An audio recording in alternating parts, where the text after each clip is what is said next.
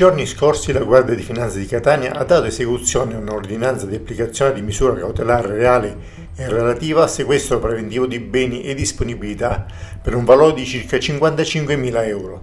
Il provvedimento cautelare è emesso come a fronte di un primo finanziamento dell'importo di 20.000 euro sarebbe stata elargita nell'arco di 9 mesi una somma complessiva di circa 44.000 euro, con tasso di interessi pari al 157% annuale e al 210% mensile.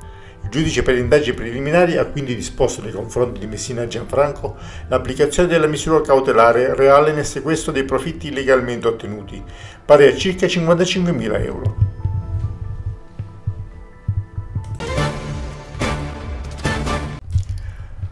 In Sicilia possono coesistere in modo permanente due centri di cardiochirurgia pediatrica, come avviene già in Veneto, dove la popolazione residenti è analoga. Lo sostiene la Regione nella richiesta di deroga al decreto Balduzzi inviata al Ministero della Salute. Così resterebbe in funzione il reparto attivo da oltre dieci anni a San Vincenzo di Taormina, accanto alla nuova struttura del civico di Palermo, mantenendo l'impegno con le famiglie dei piccoli pazienti.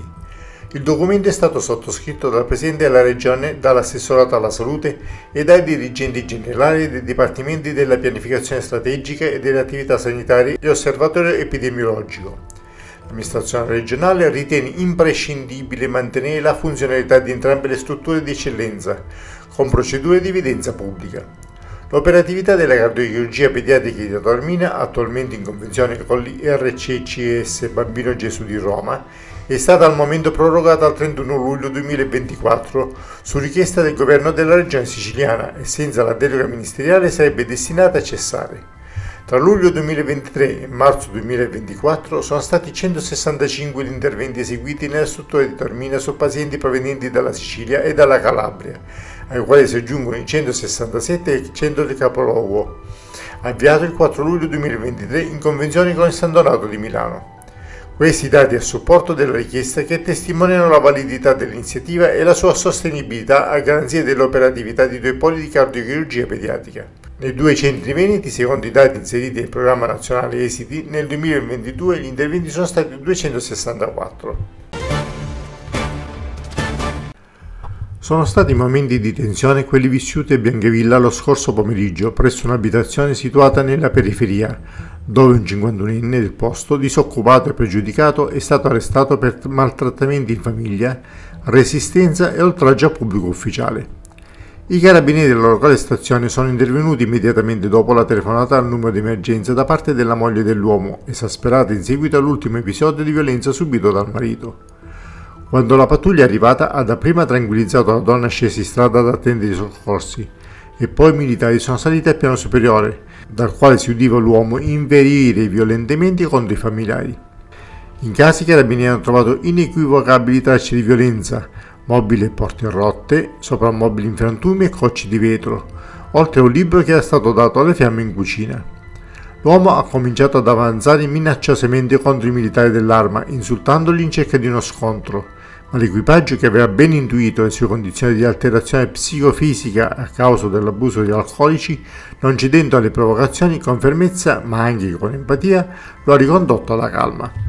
I carabinieri hanno scoperto, ascoltando le dichiarazioni della vittima, che il 51enne era in stato di alterazione psicofisica, aveva iniziato a inviare contro la propria moglie per futili motivi, passando poi alle vie di fatto mediante il lancio di un coltello da cucina all'altezza del viso, non colpendola solo grazie alla prontezza dei riflessi della donna. A quel punto una figlia della coppia era intervenuta in difesa della madre, ma era stata anche lei minacciata, quindi le due donne erano uscite a scappare di casa e chiedere aiuto. Sulla base di tutti gli elementi di prova raccolti, l'uomo è stato arrestato e condotto presso il carcere di Catania e Piazza Lanza. Le fiamme gialle della stazione navale di Messina e della sezione operativa navale di Milazzo, impegnate in una costante attività di vigilanza del litorale, hanno fermato e sottoposto a controllo tre pescherecci impegnati in battute di pesca nelle acque delle rispettive circoscrizioni di servizio. In base agli accertamenti effettuati è emerso che due lavoratori presenti a bordo erano stati impiegati in maniera irregolare. L'equipaggio della vedetta 2062 ha sorpreso in due separati interventi due pescherecci calabresi intenti a praticare la pesca di tipo cianciolo nelle acque di Capopeloro e di Rodia sotto costa e su fondali di gran lunga inferiori a quelli consentiti. Il pescato ancora vivo è stato rigettato in mare a beneficio dell'ecosistema marino.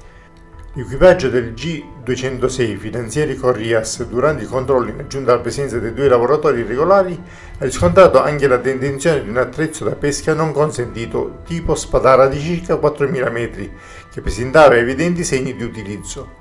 Alle tre unità da pesca è stata applicata la sanzione amministrativa da 1.000 a 6.000 euro ai sensi della legge sulla pesca e le tre reti per un valore complessivo di circa 80.000 euro sono state sequestrate per la successiva confisca. Ulteriori provvedimenti di corruzione punti sulla patente e la licenza da pesca sono stati intrapresi a carico dei comandanti.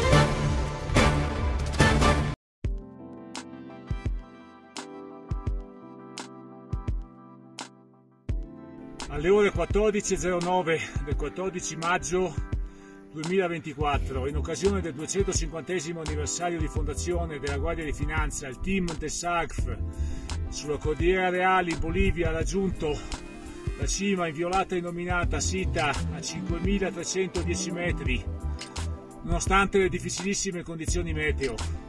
La vetta, che da ora assumerà la denominazione di fiamme gialle, viene onorata con la posizione della picozza col tricolore donata dal signor Presidente della Repubblica. Viva la Guardia di Finanza e viva l'Italia!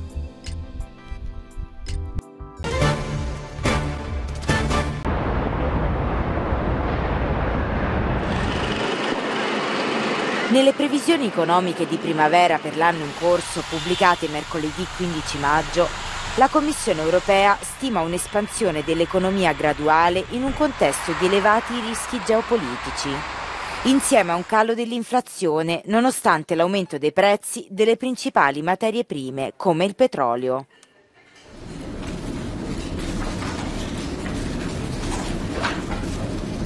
We need um, that the decline of inflation uh, produce its consequences overall on food prices, etc.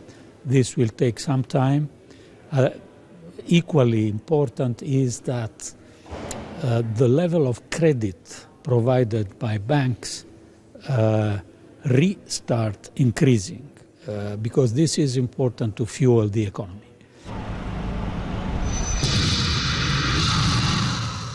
Negli ultimi mesi è ancora cresciuta l'incertezza unitamente ai rischi di revisione al ribasso per le prospettive economiche, principalmente a causa del protrarsi della guerra in Ucraina e del conflitto in Medio Oriente.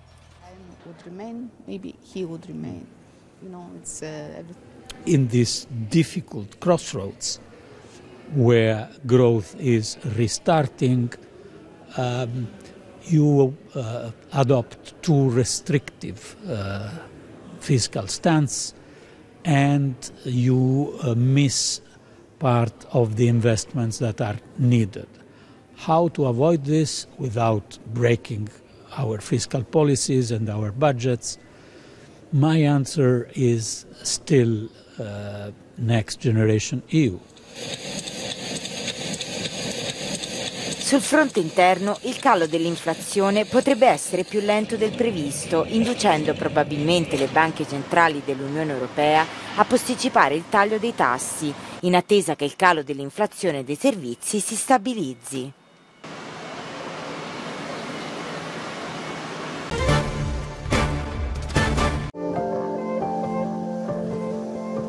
One of the biggest challenges, like ongoing challenges, um, uh, for cosmetic industry in general is how to produce a sunscreen that would be based on natural substances, natural raw materials. Uh, commonly, the sunscreen um, uh, molecules or sunscreen uh, raw materials that we use are based on organic synthesis, so it's like synthetic sunscreens. And uh, some of them have already been banned in some states in the US because of their environmental profile and safety profile. So it's like a global